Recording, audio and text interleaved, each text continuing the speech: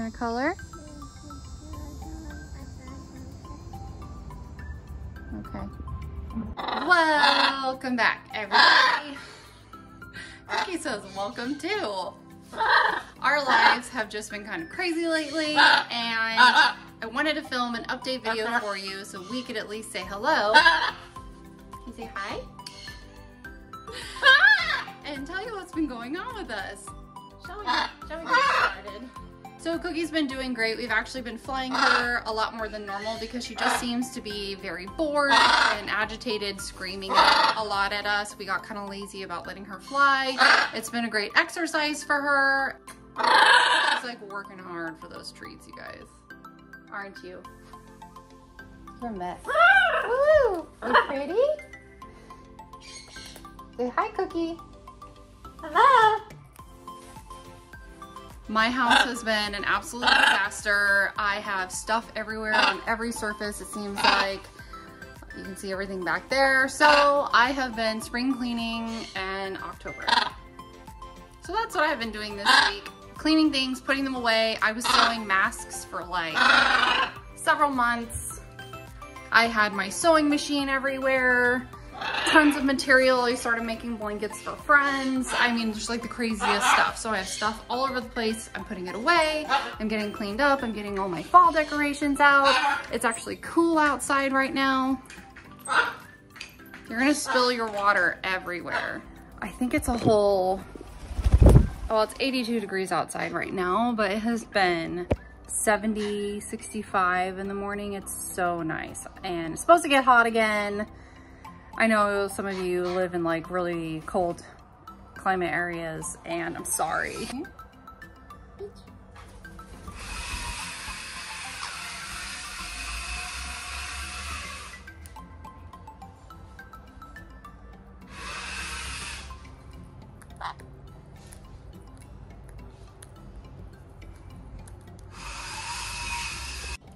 I finally replaced all the bedding in their outdoor aviary, so it looks so much nicer.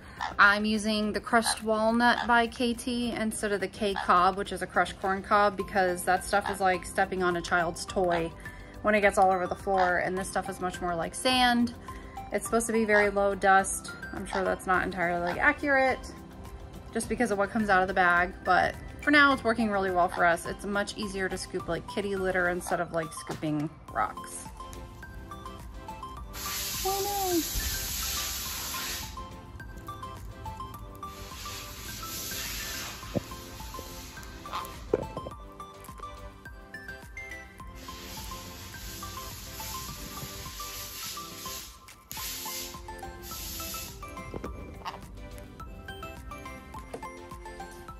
Husband's being incredibly loud, so I can't film out there.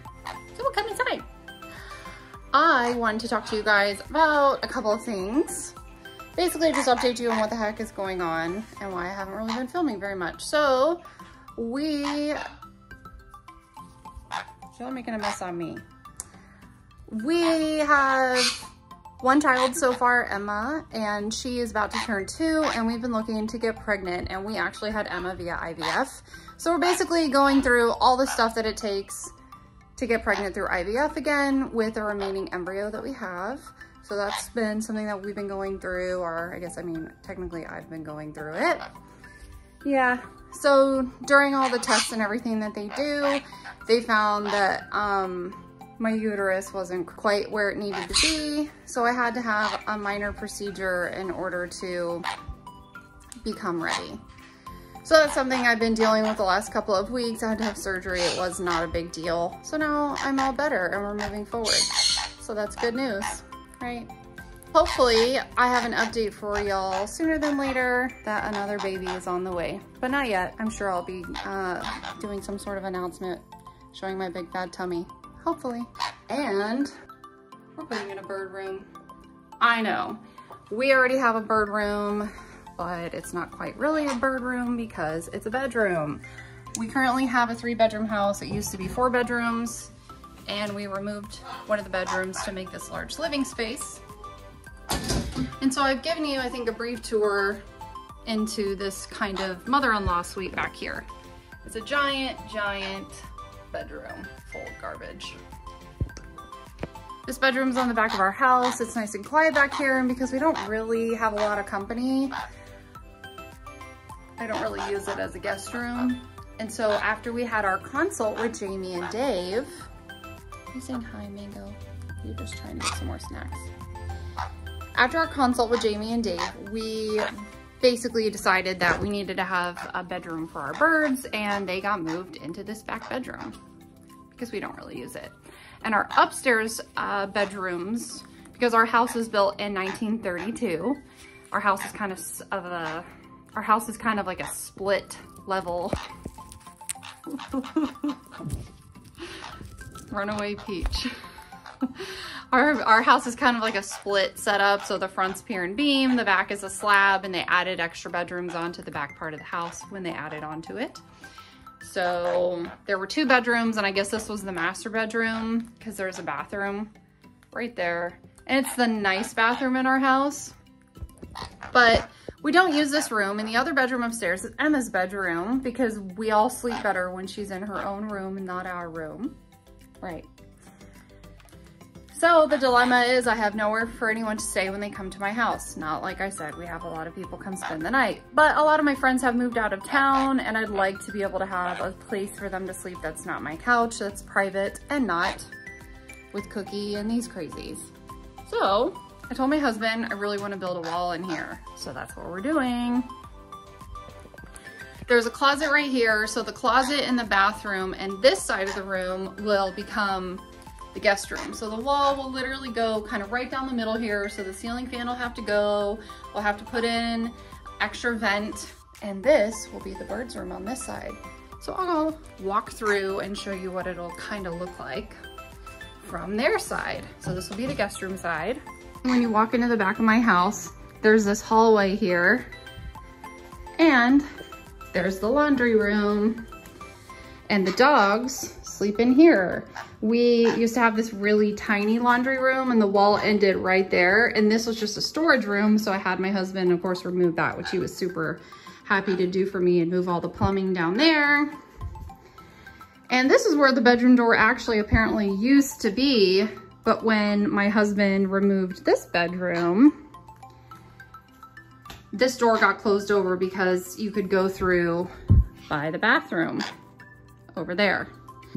So this is our new door that I love because it's super thick and insulated. So this will be the area you walk through and the wall will go straight down the middle where that fan is. So basically the wall will be like right behind this door. So you'll have this walk-in space. The birds will have their own window. I'm going to put probably Peach and Mango's cages right next to Sam's. And this is where the air conditioning unit is for downstairs. We put it in this big closet. And then as the wall kind of goes right along here through the middle of the bed, Cookie's cage will go right here. So we'll have like a good four or five feet of walking space in here. Listen, y'all be nice. Can't y'all just get along? I gave y'all snacks so you'd be good. Y'all are making a mess. I have to clean anyway, so. So anyways, that's kind of what's going on with us. Nothing overly exciting or bad or great. I mean, I guess it's exciting to some people for us to have another baby.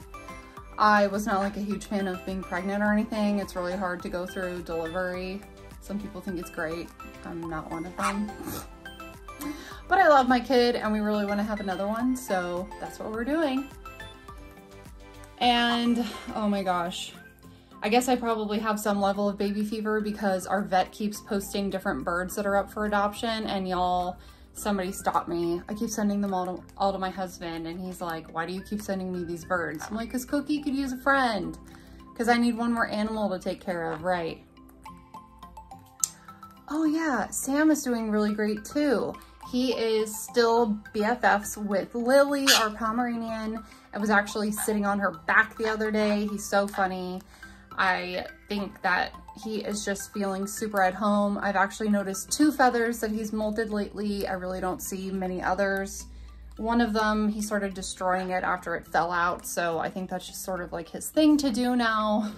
Thankfully, he's not, doesn't appear to be actually pulling out any of his feathers. So now that COVID is kind of calming down, I think I'm gonna try to get these guys in and get their nails trimmed because they are scratching me up, aren't you?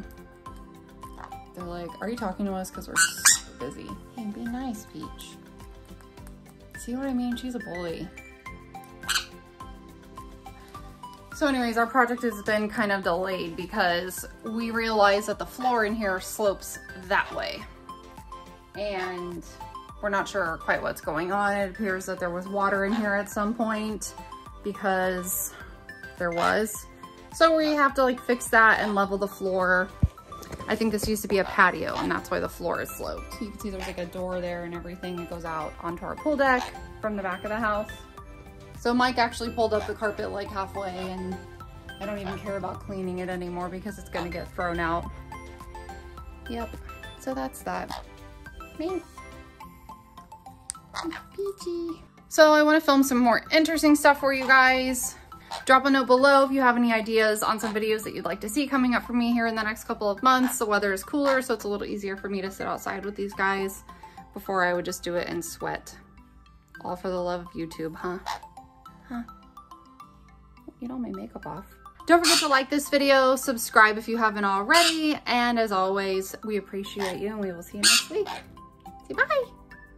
Peach, bye.